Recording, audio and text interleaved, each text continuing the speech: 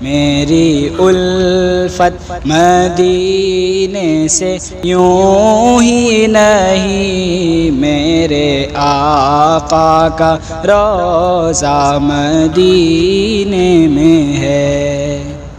شیخ الہند foundation کے اراکین نے یہ جو کوئی مقابلے کروائے ہیں، ان کا مقصد یہ بھی ہے کہ اس کے ذریعے سے نونہالان ملت کے دلوں کے اندر حصول علم کا شوق اور جذبہ پیدا ہو اور یہ سوال و جواب بھی حضور نبی کریم صلی اللہ علیہ وسلم کی سیرت طیبہ مبارکہ سے متعلق ہے۔ سیرت طیبہ مبارکہ میں انسان کے تمام مسائل کا حل ہے۔ آج گفتگو کا ایک موضوع یہ بھی ہوتا ہے کہ موجودہ حالات میں مسلمانوں کو کیا کرنا چاہیے۔ اور موجودہ حالات میں مسلمانوں کے مسائل کا حل کیا ہے؟ تو موجودہ حالات میں مسلمانوں کو سیرت طیبہ سے اپنا تعلق جوڑنا چاہیے۔ اور حضور نبی کریم صلی اللہ علیہ وسلم کے عصبے کو اپنی زندگی کے اندر اتارنا چاہیے، اسی کے اندر تمام مسائل کا حل ہے۔ اگر آپ بیماری کا شکار ہیں، تو اس بیماری سے نکلنے کے لیے سیرت طیبہ میں رہنمائی موجود ہے۔ آپ کے اوپر بار قرض ہو گیا ہے۔ تو قرض کی ادائیگی کی تدبیریں بھی سیرت طیبہ مبارکہ کے اندر جو موجود ہیں۔ آپ کے اوپر دشمنوں کا ہجوم ہو گیا ہے، تو اس میں آپ کو کیا کرنا چاہیے؟ رہنمائی سیرت طیبہ مبارکہ کے اندر۔ آپ کے دین و ایمان کے لیے خطرات پیدا ہو رہے ہیں، تو کیا کرنا چاہیے؟ وہ رہنمائی بھی سیرت طیبہ مبارکہ کے اندر موجود ہے دنیا میں جتنے بھی مسائل اٹھتے ہیں، جتنی بھی مشکلات انسانیت کو درپیش ہوتی ہے، صرف مسلمانوں کو نہیں، انسانیت کو درپیش ہوتی ہے۔ ان تمام مسائل کا حل حضور نبی کریم صلی اللہ علیہ وسلم کی سیرت طیبہ مبارکہ میں موجود ہے۔ لیکن یہ حل ملے گا کس کو؟ یہ حل اس کو ملے گا جو سیرت طیبہ کا مطالعہ کرے گا۔ جو سیرت طیبہ کا مطالعہ نہیں کرے گا، اس کو یہ حل نہیں مل سکتا۔ موجودہ حالات میں اس کی اہمیت و افادیت جو بہت بڑھ گئی ہے۔ ایسے ہی مقابلوں میں شرکت کر کے مسلمانوں نے سیرت طیبہ کے تعلق سے معلومات حاصل کی ہے۔ اور بعض غیر مسلموں نے سیرت طیبہ کا مطالعہ کر کے اسلام کے دامن میں آ کر کے سکون و عافیت کی زندگی پائی ہے۔ راحت و سکون کا جو احساس لیا حضور نبی کریم صلی اللہ علیہ وسلم کی سیرت طیبہ مبارکہ کیسے مسائل کا حل پیش کرتی ہے، ایک دو مثالیں آپ کے سامنے بیان کرتا ہوں۔ حضور پاک صلی اللہ علیہ وسلم کے ایک صحابی بہت بیمار ہو گئے۔ حضور نبی کریم صلی اللہ علیہ وسلم ان کی عیادت کے لیے تشریف لے گئے۔ تو حضور نبی کریم صلی اللہ علیہ وسلم نے دیکھا کہ وہ بالکل چوزے کی طرح کمزور ہو گئے۔ حضور نبی کریم صلی اللہ علیہ وسلم تو حقیقتا حکیم الامت۔ حضور نبی کریم صلی اللہ علیہ وسلم نے ان کی یہ حالت و کیفیت دیکھی۔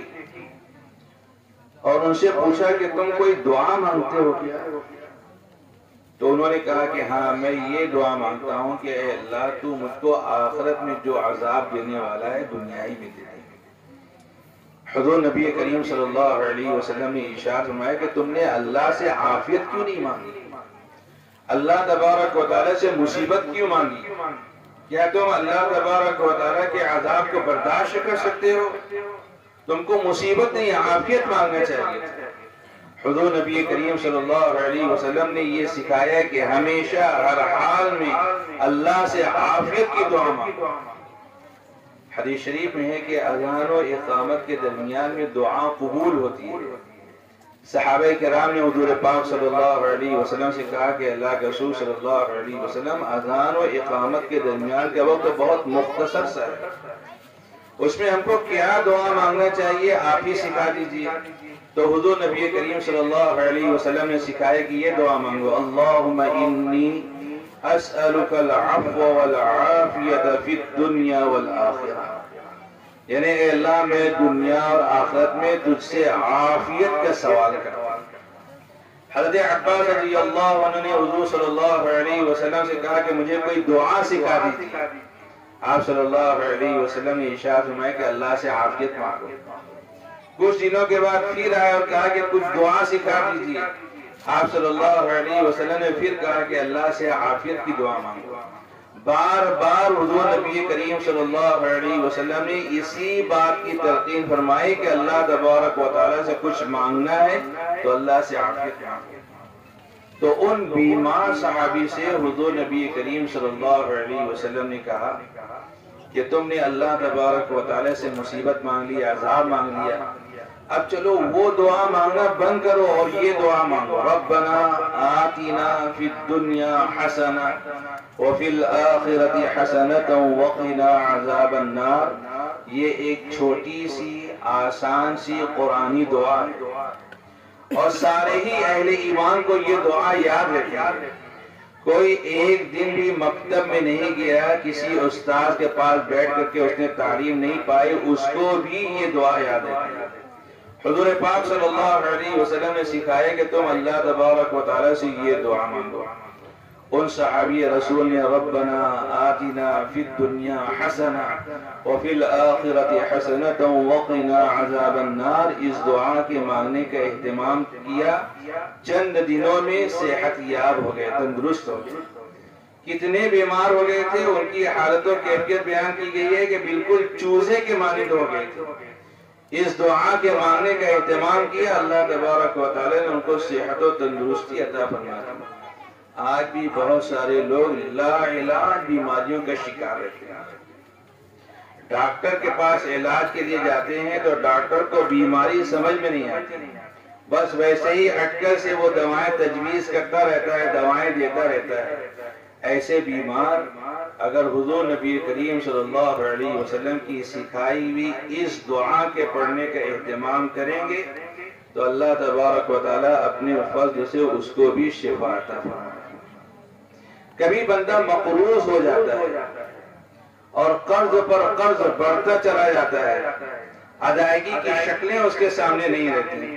حضور نبی کریم صلی اللہ علیہ وسلم نے اس بڑے اور سنگین مسئلے کا حل بھی بتایا ہے۔ بعض لوگ بار قرض کی وجہ سے اتنے پریشان ہو جاتے ہیں کہ خودکشی کا اقدام تک کر لیتے ایک صحابی حضور پاک صلی اللہ علیہ وسلم کی خدمت میں حاضر ہوئے۔ اور اپنے فقر و فاقے کی شکایت کی۔ حضور نبی کریم صلی اللہ علیہ وسلم نے ان سے کہا کہ جب تم اپنے گھر میں داخل ہونے لگو، تو ایک مرتبہ درود شریف پڑھو اور ایک مرتبہ سورہ اخلاص پڑھو۔ حضور پاک صلی اللہ علیہ وسلم کے بتائے ہوئے اس فارمولے پر، اس نسخے پر انہوں نے عمل کیا۔ کچھ دنوں میں اللہ تبارک و تعالی نے اتنا مال عطا فرمایا کہ مدینہ منورہ کے مالدار صحابہ میں ان کا شمار ہونے لگا دشمنوں کا ہجوم ہے۔ تو اس وقت کیا کرنا چاہیے؟ حضور نبی کریم صلی اللہ علیہ وسلم کی سیرت طیبہ مبارکہ میں اس کے تعلق سے بھی رہنمائی اور رہبری موجود ہے۔ غزوہ بدر کے موقع پر مسلمان تین سو تیرہ کی تعداد میں تھے۔ کفار مشکین کی تعداد ایک ہزار تھی۔ حضور نبی کریم صلی اللہ علیہ وسلم اللہ تبارک و تعالی کی بارگاہ میں سجدے میں سر رکھ کر کے یا حی یا قیوم کہہ رہے تھے۔ حضرت علی رضی اللہ عنہ کہتے ہیں کہ غزوہ بدر کے موقع پر میں حضور پاک صلی اللہ علیہ وسلم کے خیمے میں گیا تو دیکھا کہ آپ کا سر سجدے میں ہے اور آپ صلی اللہ علیہ وسلم کی زبان پر یا حی یا قیوم جاری ہے۔ دوسری مرتبہ گیا تو حضور نبی کریم صلی اللہ علیہ وسلم کو اسی حالت و کیفیت میں دیکھا۔ تیسری مرتبہ گیا تو حضور نبی کریم صلی اللہ علیہ وسلم کو اسی حالت و کیفیت میں دیکھا۔ اور پھر چوتھی مرتبہ میں اللہ تبارک و تعالی نے جو مسلمانوں کو فتح اور کامیابی جو عطا فرمایا حضور نبی کریم صلی اللہ علیہ وسلم نے سکھایا کہ اگر دشمنوں کا ہجوم ہو جائے اور تم پھنس جاؤ، تو تم اللہ تبارک و تعالیٰ کی طرف رجوع کرو، اللہ سے لو لگاؤ، یا حی یا قیوم کا ورد کرو۔ اللہ تبارک و تعالیٰ اس مصیبت سے نجات کی راہیں پیدا کرتے ہیں۔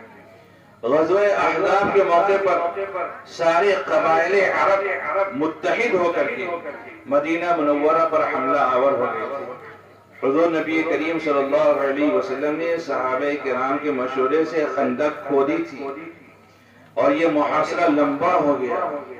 سخت سردی کا زمانہ تھا۔ مسلمان فاقے کا شکار تھے۔ صحابہ کرام نے حضور پاک صلی اللہ علیہ وسلم سے جا کر ہی کہا کہ اللہ کے رسول صلی اللہ علیہ وسلم، یہ محاصرہ لمبا ہوتا جا رہا ہے۔ ہم کو کیا کرنا چاہیے؟ حضور نبی کریم صلی اللہ علیہ وسلم نے یہ نہیں کہا کہ نعرے بازی کرو۔ حضور نبی کریم صلی اللہ علیہ وسلم نے یہ نہیں سکھایا کہ احتجاج کرو۔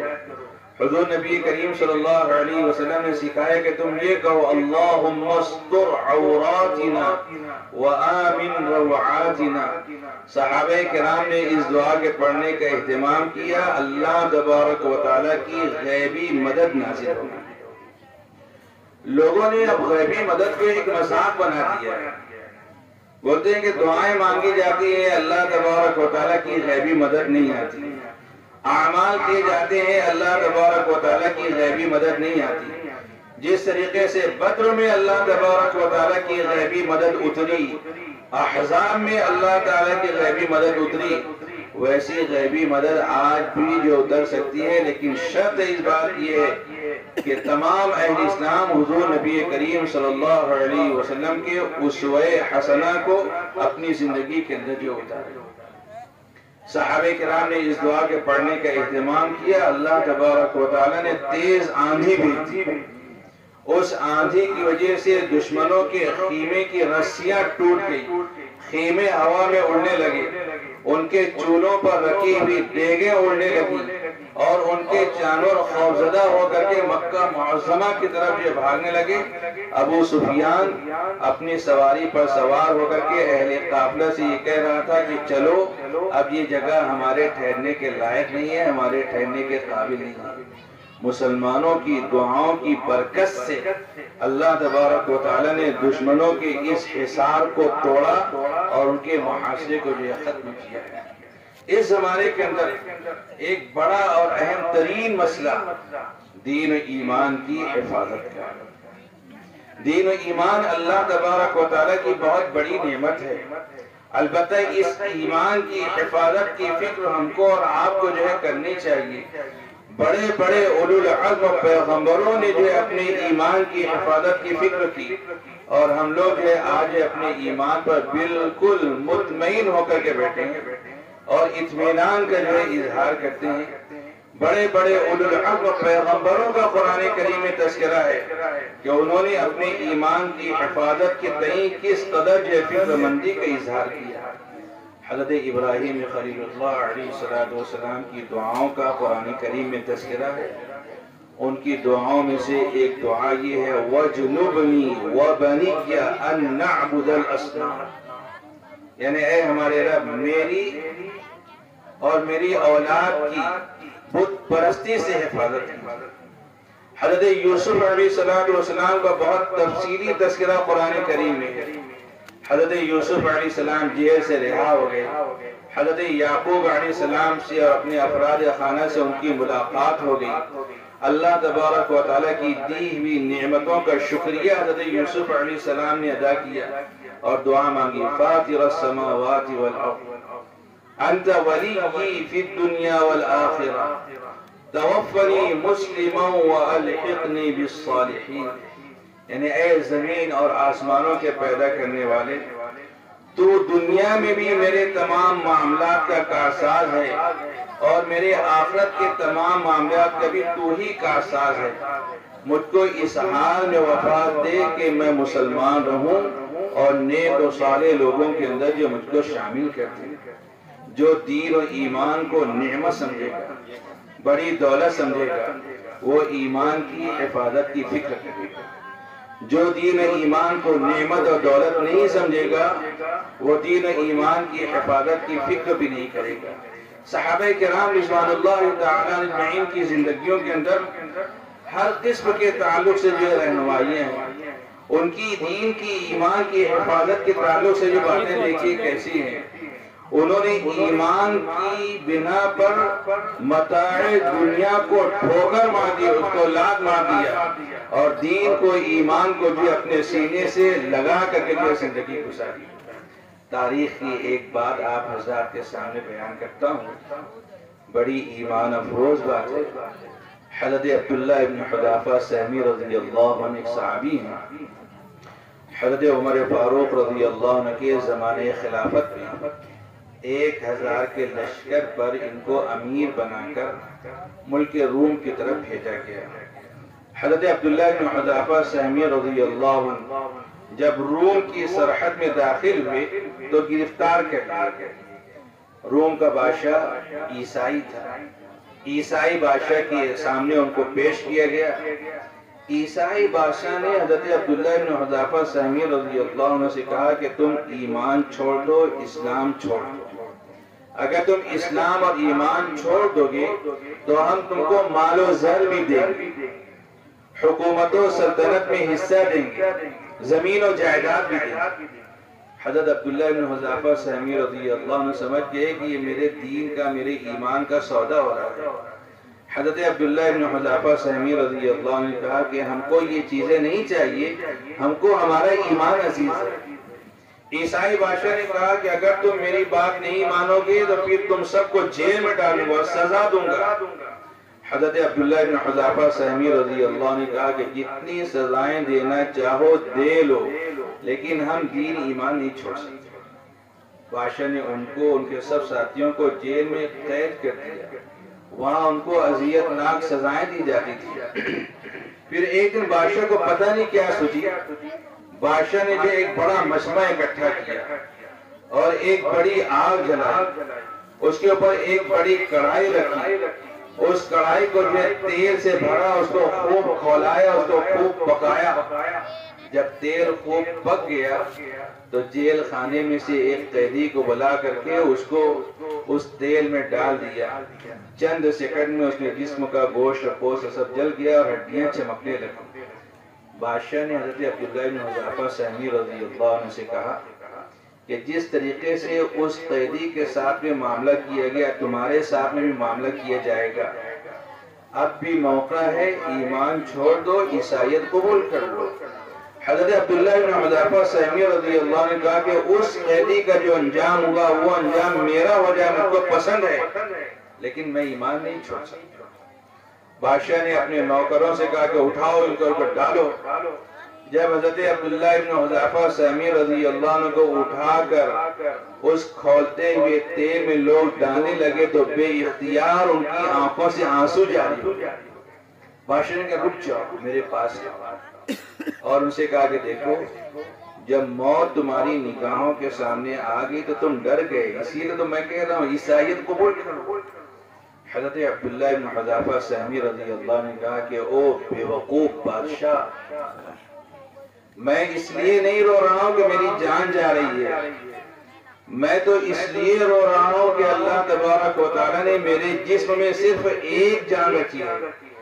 اگر اللہ تعالیٰ میرے ہر روئے کے بدلے میں ایک ایک جان رکھ دے، تو ان تمام جانوں کو اللہ کے راستے میں قربان کر دوں گا اور ایمان چھوڑنے کا خیال پھر بھی دل میں نہیں گا۔ بادشاہ نے کہا کہ اچھا ایک کام کرو، تم میری پیشانی کا بوسہ دو، تو میں تم کو بھی رہا کر دوں گا، تمہارے تمام ساتھیوں کو بھی رہا کر دوں گا۔ حضرت عبداللہ بن حضافہ سہمی رضی اللہ عنہ سوچا کہ اگر یہ جان آج بچ جاتی ہے تو پھر دوسرے مارکے میں کام آئے۔ اس کی پیشانی کا بوسہ دیا بادشاہ نے سب کو رہا کر مدینہ منورہ آئے۔ حضرت عمر فاروق رضی اللہ عنہ کے سامنے کارگزاری بیان کی۔ تو حضرت عمر فاروق رضی اللہ عنہ نے سب کو مسجد میں جمع کر لیا اور اعلان کیا کہ تمام مسلمانوں پر واجب ہے کہ حضرت عبداللہ بن حضافہ سہمی کی پیشانی کا بوسہ دیں اور پھر حضرت عمر رضی اللہ عنہ نے سب سے پہلے آگے بڑھ کر کے ان کی پیشانی کا بوسہ دیا۔ اور ایک روایت میں یہ ہے کہ حضرت عمر رضی اللہ عنہ نے اس قافلے میں شریک تمام افراد کی پیشانیوں کا بوسہ دینے کا جو حکم دیا۔